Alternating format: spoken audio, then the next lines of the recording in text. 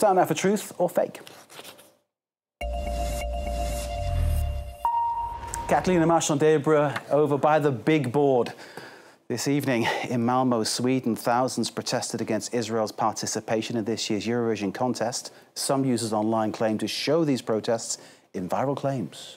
Catalina, tell us more, truth or fake? Well, thousands, even uh, Greta Thunberg, who was detained by the police, joined in these uh, pro-Palestinian protests uh, that took place in the Swedish city of uh, Malmo uh, against Israel's participation in the Eurovision Song Contest. Uh, let's take a look at the following posts of users that claim that these videos show these protests. this first video that shares this video as well and says that the King of Denmark Apparently, him on this balcony waves the Palestinian flag uh, from his balcony in Denmark in front of a rally demanding an end to the Israeli war in Gaza. We also saw uh, the same claims and the same video also circulating on a TikTok claiming free Palestine from Denmark, also claiming to be the king of Denmark, waving the Palestinian flag. And then there's a second video that's also going around, also viral, where we see uh, these uh, violent demonstrations demonstrations allegedly against Eurovision's Israeli uh, participant, uh, where these users claim, and I quote, that uh, these people violently protesting are pro-Palestinian Muslim migrants who were given shelter in Sweden, now destroying Swedish taxpayers' property by stone pelting. Okay, number of claims there. Let's try and um, unpack it all then, Catalina. Uh, we saw the King of Denmark. Well, maybe someone knows what he looks like or what he doesn't look like, so perhaps we can add something to that one. Um, what do these videos really show? Shed some light on this for us. Let's begin uh, debunking where we left off on uh, the video allegedly showing uh, violent Muslim protesters in Malmo. Uh, a video that was actually from 2009 here on uh, May 2009 here on YouTube, and actually shows anti other, not the recent ones, but shows anti-Israel protests uh, staged at Sweden a Davis Cup tennis match outside the stadium in Malmo in Sweden following the 2008 2009 Gaza war. And as for the second video that we showed, uh, this uh, footage is actually from May 9th. Uh, the same moment was captured here by TRT. Uh, showing uh, the pro-Palestinian protest that did take place in Malmo. Hence, it's not a photo taken in Denmark.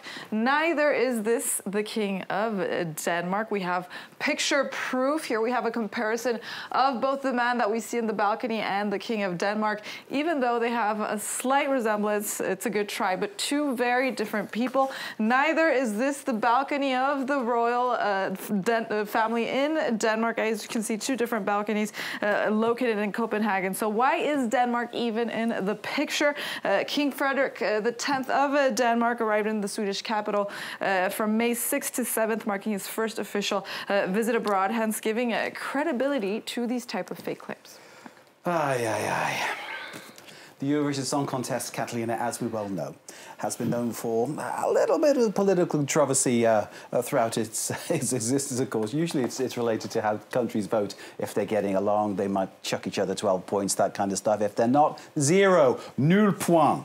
Tell us more about the uh, political shenanigans with Eurovision.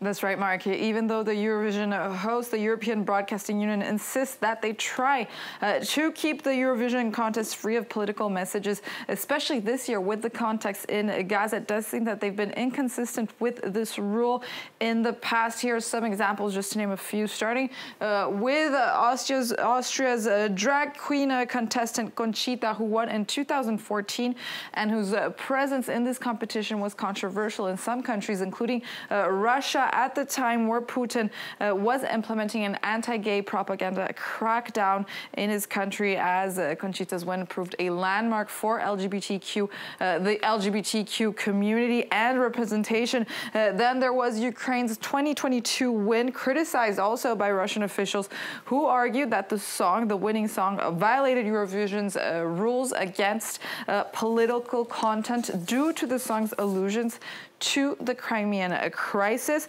And finally, of course, uh, this year, Israel's controversial participation in the contest that was protested by about 12,000 people in Malmo asking for Eurovision to ban Israel. Israel was not banned. Uh, however, Israel's uh, song, uh, Israeli song contestant Eden Golan, who finished in fifth place this year, was ordered to change her song lyrics uh, called October Rain, an apparent reference to Hamas's October 7th attack in Israel. She changed the song lyrics to the word hurricane instead of October Rain. the contestant was also a booed during her Eurovision final performance, also during dress rehearsal, proving for a tense atmosphere inside and outside the Eurovision arena where protests were also being held throughout the contest. So, uh, can this Eurovision uh, contest ever remain apolitical. Uh, at least this year, it seemed impossible given the actual uh, context in the world and with Israel's war against Hamas in Gaza. Catalina, thank you very much indeed for Truth or Fake. Thanks to Yuka for the business. Thanks to you for watching. Stay with us. More to come here on World Roundup.